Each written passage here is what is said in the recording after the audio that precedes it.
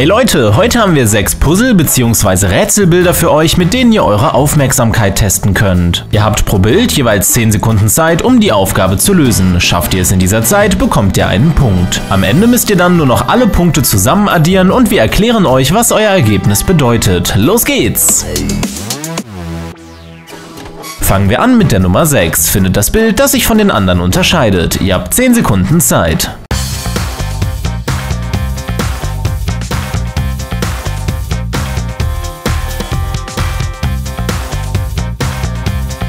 Und hier ist die Lösung. Wenn ihr es in der Zeit geschafft habt, gibt es jetzt einen Punkt für euch. Machen wir weiter mit der Nummer 5. Findet die Katze, die anders aussieht als alle anderen. 10 Sekunden ab jetzt.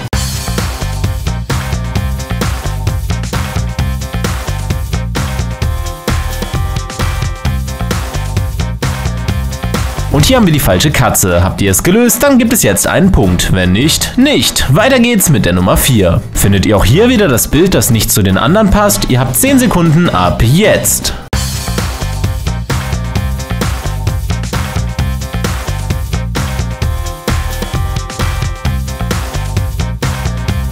Und hier ist es. Wieder ein Punkt für jeden von euch, der es in der Zeit gefunden hat. Machen wir weiter mit der Nummer 3. Findet wieder den Ausreißer. Ihr habt 10 Sekunden Zeit.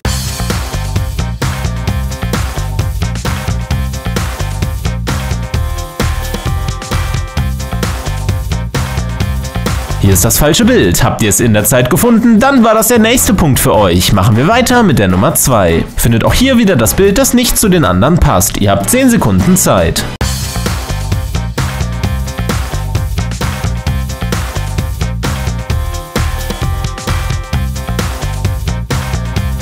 Und hier ist die Lösung. Einige von euch haben hier sicher ihren vorletzten Punkt geholt. Und damit sind wir auch schon bei der heutigen Nummer 1. Eure letzte Chance für einen Punkt. Ihr habt 10 Sekunden Zeit.